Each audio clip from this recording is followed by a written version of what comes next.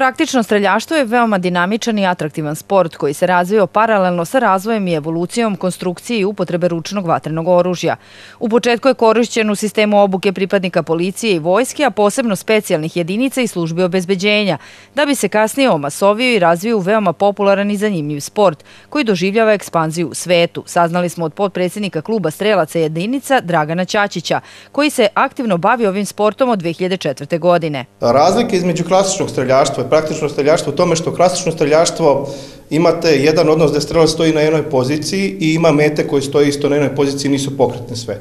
U, dan, u praktičnom streljaštvu, odnosno e, kategoriji dinamičnog streljaštva je sve pokretno. Znači strelac je u pokretu, ima više meta, više, više metnih situacija, više metaka koje mora da ispali, mete su u pokretu, statične, sakrivene, Tako da, da veoma, veoma dinamičan sport i veoma visoko, visok adrenalin podiže. Praktično streljaštvo ima kategorije pištolj, karabin i sačmarica i podrazumeva upotrebu bojeve municije, napominje Ćačić, i ističe da važna karakteristika ovog sporta je velik uticaj na povećanje bezbednog rukovanja vatrenim oružjem.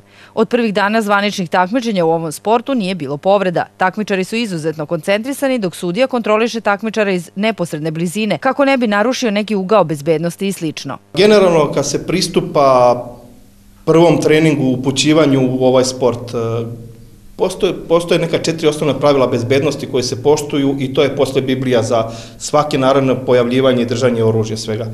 U principu postupa se prema svakom oružju kao da je napunjeno. Iako znate da je prazno, znači vi smatrate da je oružje napunjeno sve. Znači sva četiri pravila su vezane jedno za drugo.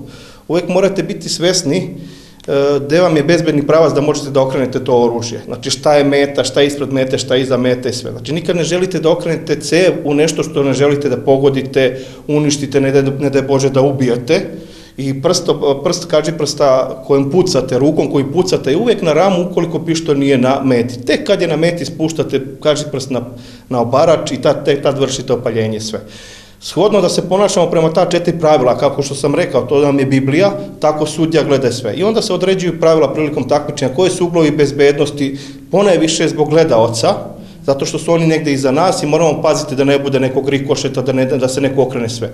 I u principu, redko, redko kad se desi neka diskvalifikacija, desi diskvalifikacija, ali to su narušavanje nekih uglova i pravila vrlo, vrlo mali koji dovoljni da se ne bi prešli preko toga da se ne bi neko ugrozio.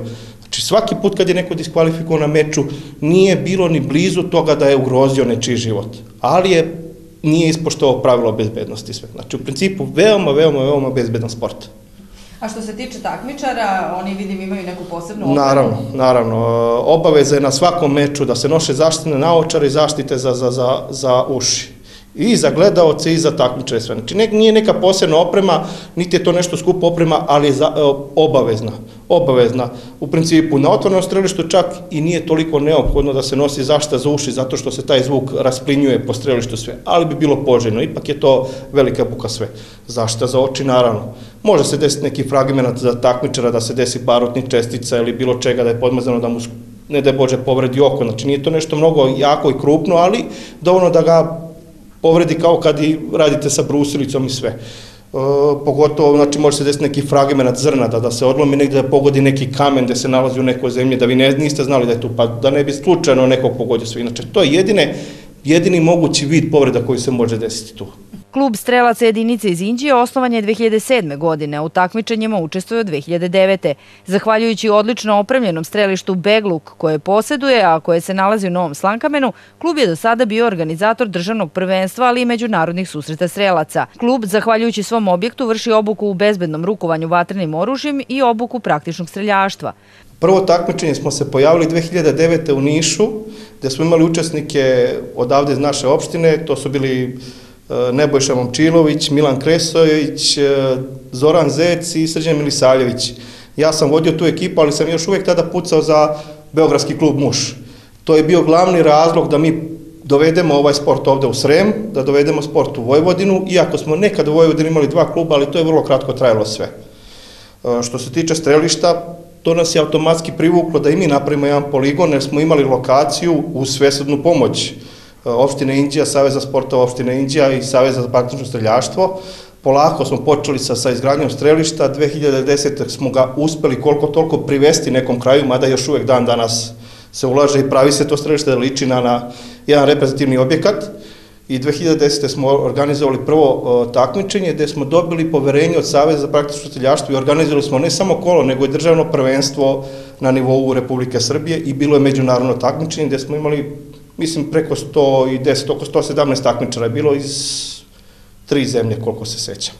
Dakle, ovaj sport, možemo reći, kod nas i nije, da kažemo, toliko ovaj, popularan. Mada, eto, u svetu jeste, koliko ste mi rekli, ima negde, da kažemo, ljubitelja ovog sporta, koliko ima ljubitelja i futbala. Pa, otprilike, otprilike tako, znači, veoma je velika armija ljudi za ljubljenika sve, ali naravno, zašto kod nas nije popularan? Veoma, veoma skup sport. Veoma zahtevan sport što se tiče financija i jako je teško ovaj, izboriti se ovo vreme sa time.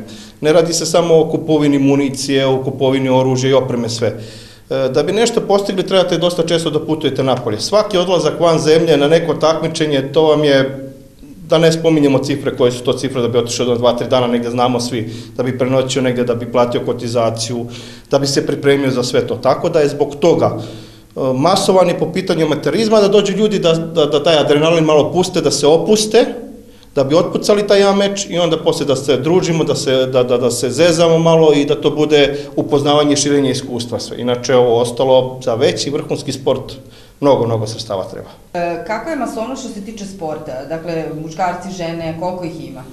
Pa u principu muškarci su najzastupljeniji. Za razliku od ostalih evropskih e, zemalja i zemalja u regionu, vrlo, vrlo malo imamo devojaka koji pucaju. Ne znam zašto, stvarno ne znam. E, kod nas imamo našu državnu prvakinju koja puca za taj moj bivši klub muš, koji inače tu iz Nove Pazove, ali živi u Beogradu i devojka koja jako, jako dobro puca, čak puno bolje nego od ostalih muškaraca i prvom prilikom koju bi mogli pustit ćemo da nešto kaže, da, da, da nema razlike između muškaraca i žene sve. Što se tiče muškaraca, naš klub broji neki 50 članova, od toga nas 10 je registrovano koji se takmičimo, ali kažem kao i ranije zbog situacije neke finansijske, nas nekolicina idemo na neke takmičenje, a osim mene još eventualno dva takmičara idu po međunarodnim takmičenjima zbog nekih obaveza da bi se vidjeli da bi promovisali ovaj klub i sve. Nas jeste cilj da dovučemo i mlade ljude, pošto u ovoj kategoriji postoje naši juniori, ali juniori zbog zakona o oružju munici mogu biti od 18 godina, pa mi držimo juniore do 22 godine.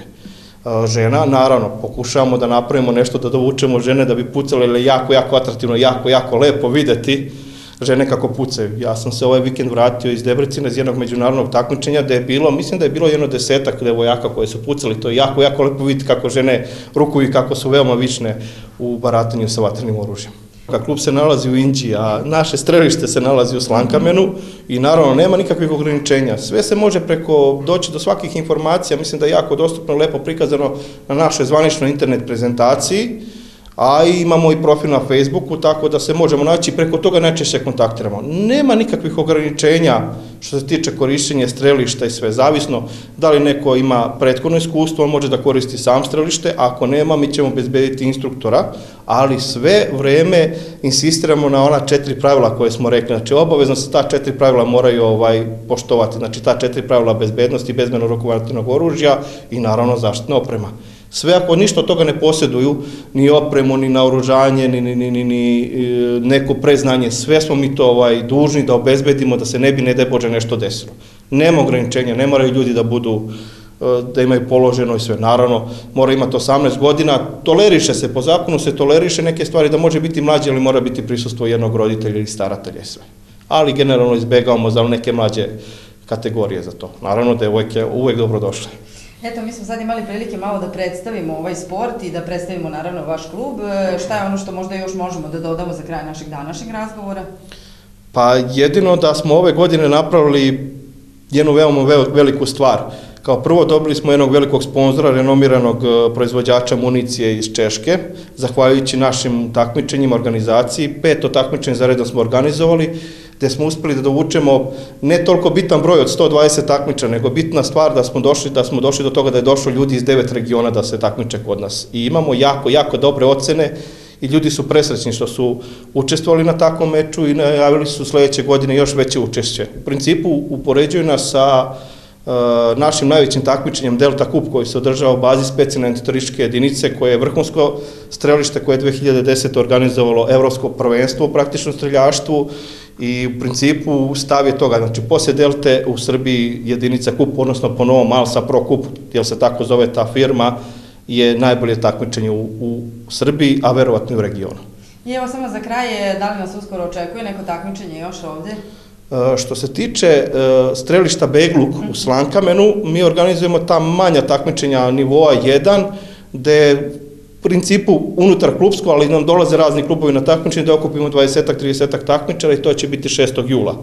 Što se tiče lige u Požarevcu je kraj meseca, 28. i 29. ako se ne varam, to je Liga Srbije. Ova ostala takmičenja veća što se tiče našeg strelišta do aprila sledeće godine nećemo ništa praviti tako veliko, pošto znamo da je veoma veliki posao organizovati takve velike mečeve.